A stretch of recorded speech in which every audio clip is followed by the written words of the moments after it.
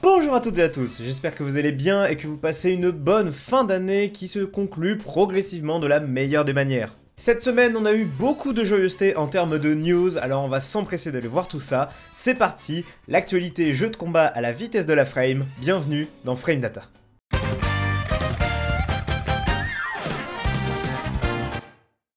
On commence comme d'habitude avec les résultats de la semaine, avec en premier lieu l'Occitanie eSport qui s'est déroulé à Montpellier ce week-end, un gros événement multigaming auquel on a eu droit cette année à un tournoi Super Smash Bros Ultimate qui était très intéressant, malgré un faible nombre de joueurs. En effet, sur la cinquantaine de joueurs présents, on a pu avoir un podium 100% BMS, mais plus que ça encore, on a pu voir la première victoire de Crêpes Salé en tournoi officiel en dehors de Strasbourg lors des tournois locaux, en battant ses comparses OG et surtout Nirose lors d'une grande finale reset accrochée sur 10 games. Une consécration pour ce joueur d'à peine 14 ans qui a encore beaucoup d'avenir devant lui dans Smash avec une courbe de progression impressionnante, après notamment une quatrième place au gros tournoi français Shonen War et une magnifique septième place lors du Major espagnol du Tech Republic 6. Bref, une fin d'année sous les couleurs noires et rouges du drapeau BMS sur Smash Ultimate, mais pas seulement. Puisque comme souvent, petit point récap sur la Street Fighter Pro League Europe pour la dixième semaine, il n'y a pas à dire que ce soit sur Smash Bros Ultimate ou sur Street Fighter V, BMS sont véritablement en forme. En effet, c'est une nouvelle victoire écrasante de la part de BMS face à Wild Blast, dernier au classement actuel, sécurisant ainsi 40 points, avec des victoires sans équivoque de Crimson, TKR et Killzoo. Il s'agit de leur troisième clean sheet du championnat, leur donnant ainsi une avance considérable sur les autres équipes, montrant ainsi un niveau de jeu homogène très élevé. De l'autre côté, c'est Mouse Esport qui remporte son match face à Reason Gaming sur une rencontre accrochée, allant jusqu'à l'extra game. Au classement actuel, BMS s'affiche toujours en tête, loin devant, mais on attend la semaine prochaine la rencontre Gamers Origin face à O Nation qui aura pas mal d'enjeux pour le classement final.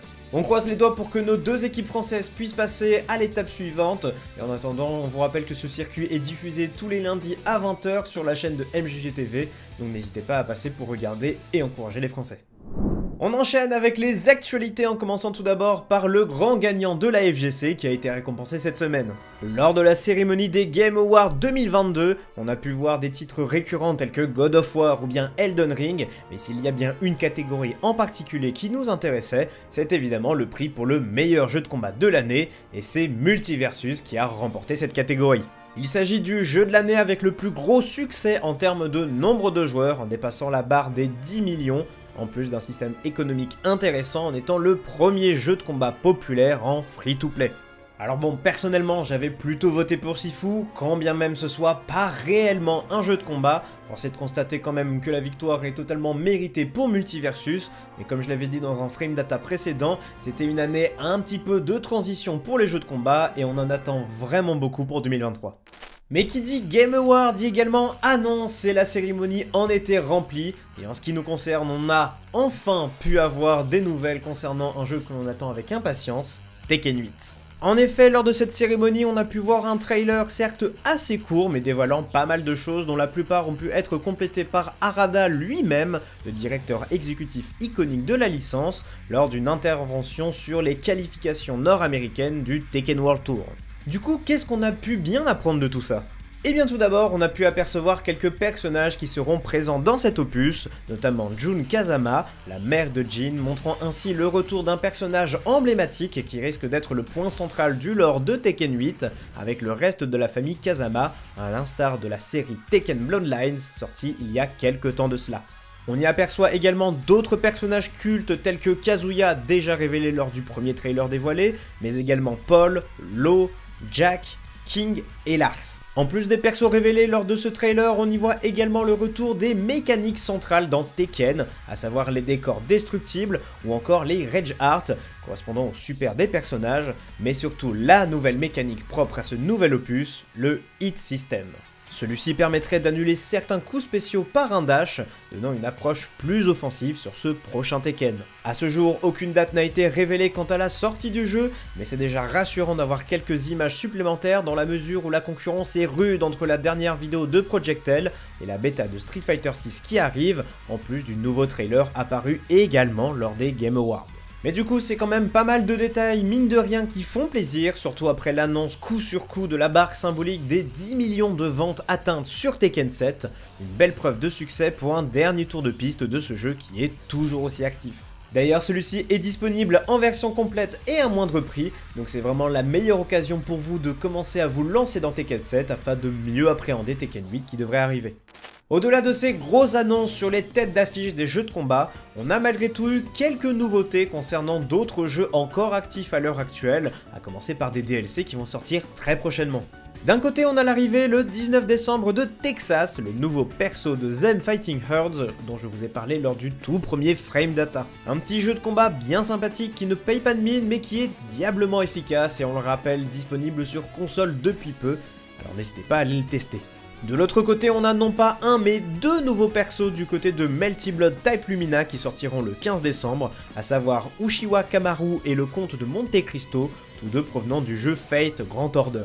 Pour rappel, les DLC de Melty Blood sont gratuits, dont ceux-là également, alors si vous avez le jeu, ça ne vous coûte littéralement rien d'aller tester tout ça. Parenthèse également pour Skullgirls qui annonce également l'arrivée officielle de Black Dahlia, le dernier DLC en date qui est en préparation depuis déjà plusieurs mois, avec en plus un nouveau patch d'équilibrage qui devrait arriver dans la foulée après elle, à savoir courant janvier. Pas mal de petites choses qui nous montrent qu'il existe toujours une activité sur ces jeux trop souvent mis de côté, comme quoi il est jamais trop tard pour les découvrir, encore plus s'ils sont toujours entretenus par leurs développeurs. On a parlé dernièrement des jeux que l'on attendait tels que Street Fighter 6, Tekken 8 ou encore Project L, mais savez-vous qu'avant tout cela vient de surgir dans l'ombre un jeu qui vaut le coup d'œil? En effet, ça fait plusieurs mois que des oreilles attentives ont entendu parler de ce jeu méconnu et pourtant intrigant, Umbral Core. Ce dernier est un jeu de combat indépendant 2D développé par la team Few Games et qui propose beaucoup de points clés essentiels que l'on attend d'un bon jeu de combat moderne. Univers Dark Fantasy original, mécanique de jeu riche et dynamique, ou encore rollback netcode pour un jeu en ligne stable et optimisé. Et plus que de nous dévoiler ce jeu au fur et à mesure, la semaine dernière s'est ouvert la bêta officielle d'Umbral Core, disponible gratuitement sur Steam.